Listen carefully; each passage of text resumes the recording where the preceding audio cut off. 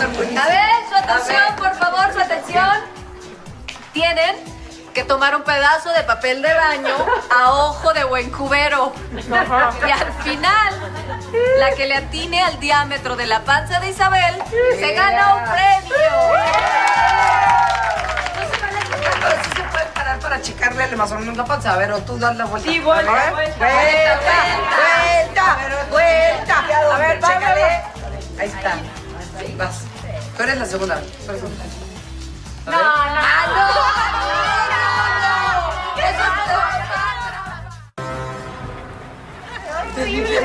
La tienes que probar. Bueno,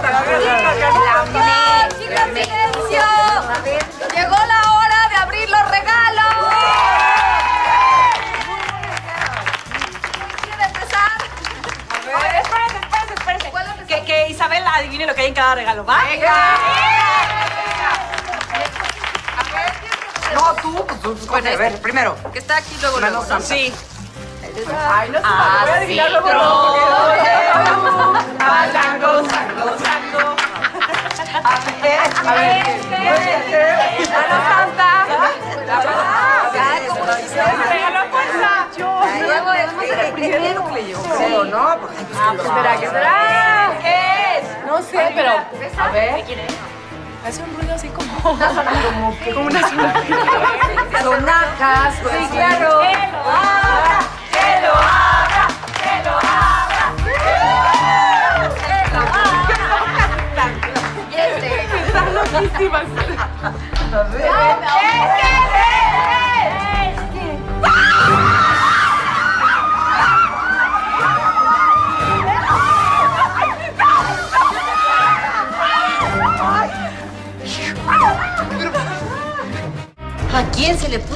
ocurrir algo tan perverso? Lo bueno fue que me acordé que nuestro vecino es veterinario y nos pudo ayudar. Bueno, yo me encargo del animal. Gracias por atraparla, de verdad no sabe cómo, cómo De se lo nada, agradece. con permiso.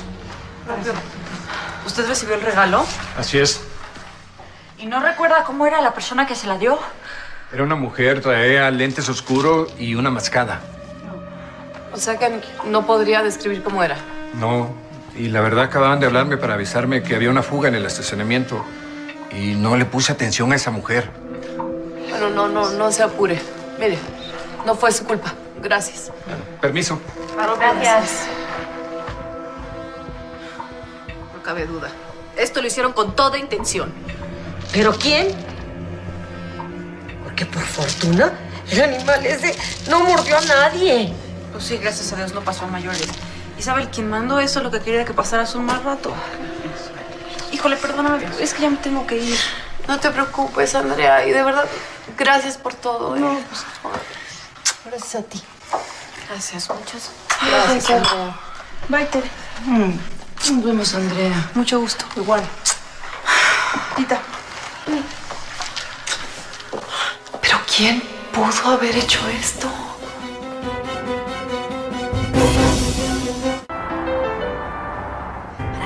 Que la idea de traer esa víbora fue de Aranza. ¿Qué? No, no, Gaby, no. Una cosa es que esté molesta conmigo por lo de la cuna, pero esto, esto sería demasiado. Me cuesta creer que el coraje de Aranza haya sido tan grande como para llevarla a esto y que haga esto. No puede ser. Pues si lo que buscaba era vengarse, lo ha conseguido. No, no, perdóneme, un momento, no, no podemos dar por sentado que Aranza fue la responsable. Ay, no, Isabel, No, es que no, favor. Gaby. Si no fue ella, ¿quién más? Pues no lo sé, no sé. Perdón, pero todo indica que fue ella. Pues yo me niego a creerlo. No, Perdón que insista, pero ya no hay más. Después de lo que hizo con la cuna, es evidente que Aranza te odia. Y qué mejor que demostrártelo de esta manera. bueno, vámonos, Isa, te llevo. Ay, nosotros también nos vamos. Que nos vengamos. Ay, Dios mío. Por favor, Isabel, no le des más vueltas. Te tienes que cuidar. De seguro fue Aranza. Gracias. Cuídate. Ay, no, no, no, qué horror, qué horror. Tranquila. Vamos a descansar.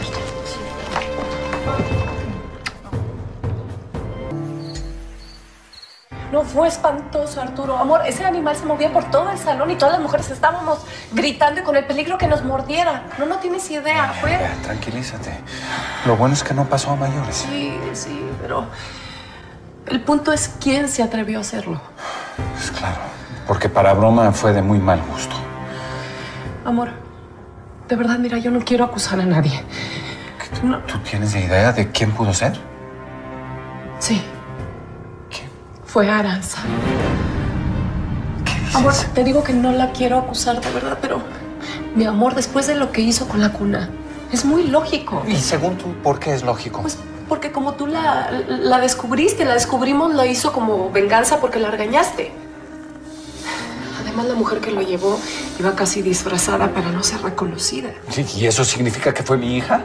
Además, la caja no tenía tarjeta. No dijeron de parte de quién era el regalo. A ver, a ver, me, me- me queda muy claro que alguien quiso molestarte y arruinar tu fiesta, pero eso no quiere decir que fue Aranza. Pero, bueno, tal vez no la llevó personalmente, pero me la hizo llegar. Por eso fue que no llegó a mi baby shower. Ella fue Arturo, fue ella. Basta, Isabel. Yo no voy a permitir que sigas levantándole calumnias a mi hija.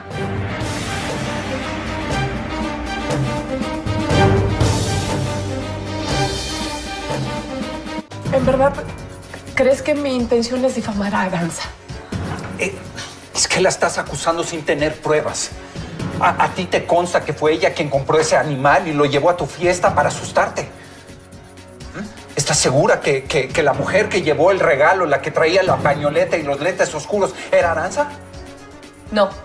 Pero ¿sabes qué? Podemos preguntarle a Gabriela si en su edificio tiene cámaras de seguridad y en una de esas quedó grabado de quién se trata. Me parece muy buena idea. Bueno. Pero hasta que tú demuestres que fue Aranza, te pido por favor que no discutamos más el tema. Me parece muy bien. Me parece muy bien. Solo quiero que me digas qué va a pasar con la cuna. ¿Eh? Pues entiende que es la misma situación. Ni a ti ni a mí nos consta que fue ella quien la despedazó. Entonces, ¿quién la despedazó? Pues yo no ¿Quién sé. fue? Pero lo que sí te puedo decir es que para mí, Aranza sigue siendo inocente hasta que alguien demuestre lo contrario.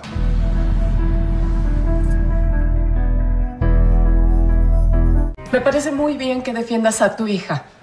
Así debe ser, Arturo.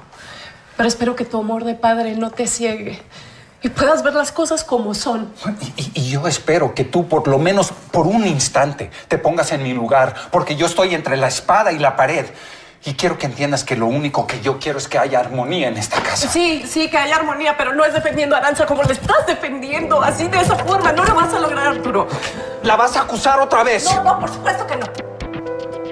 Ya vi que para ti lo que yo diga no tiene ningún valor. No seas dramática. Se trata de que hablemos como adultos, que platiquemos como gente civilizada. Por supuesto.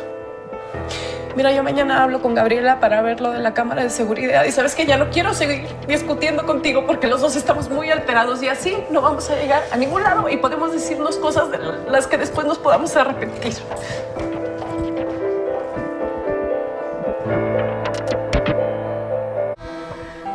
Ay, señora, me da tanta pena que usted y el señor hayan discutido. Nunca pensé que Arturo y yo pudiéramos llegar a hablarnos así de feo.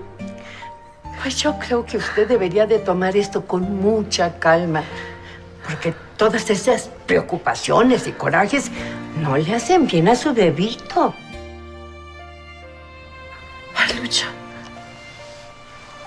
Tienes razón, antes que nada debo de pensar en esta criaturita, ¿verdad?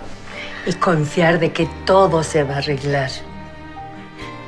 ¿Quiere que le prepare un té? Sí, por favor. ¿Me lo traes aquí? Ahí también me traes un libro que tengo en mi buró, lo quiero terminar de leer. Sí, señora. Con permiso. Gracias.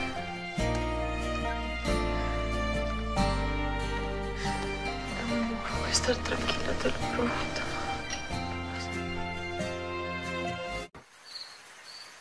Aparte de lo que me pidió, pues le traje una cobijita por si le da frío mientras está leyendo. A ver, la tapo de una vez. Qué linda, gracias. Ay, quiero decirle que la señorita Gabriela me dio a guardar unos algodones de azúcar, pues, por si se le antojan. Esa amiga mía. Siempre tan al pendiente de mí. Oiga, pues viendo lo que batalla usted para caminar por el tamañito de la panza, ¿No cree que ya es hora que le contraten un chofer? Ay, Lucha, pues sí, sí tienes razón. ¿eh? Mi intención es seguir trabajando mientras pueda. Pero, pero sí, sí voy a necesitar a alguien que por lo menos me lleve y me traiga.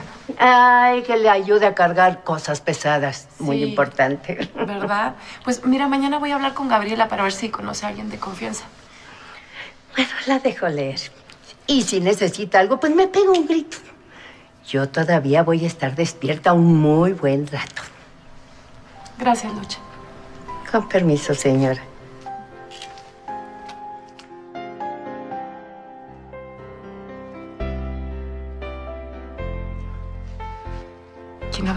Serpiente? ¿De quién?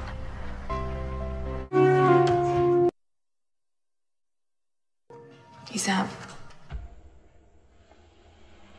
Tengo que hablar contigo.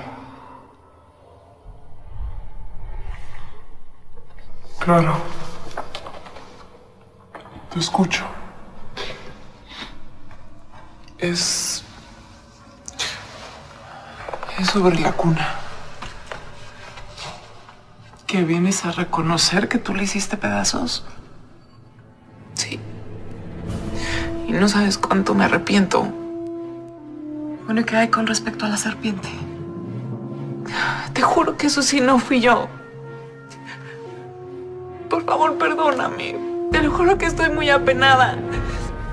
Y lo de la cuna sí fue una reacción de celos estúpida. Pero lo de la víbora no fue obra mía, te lo juro. Juro por la memoria de mi mamá.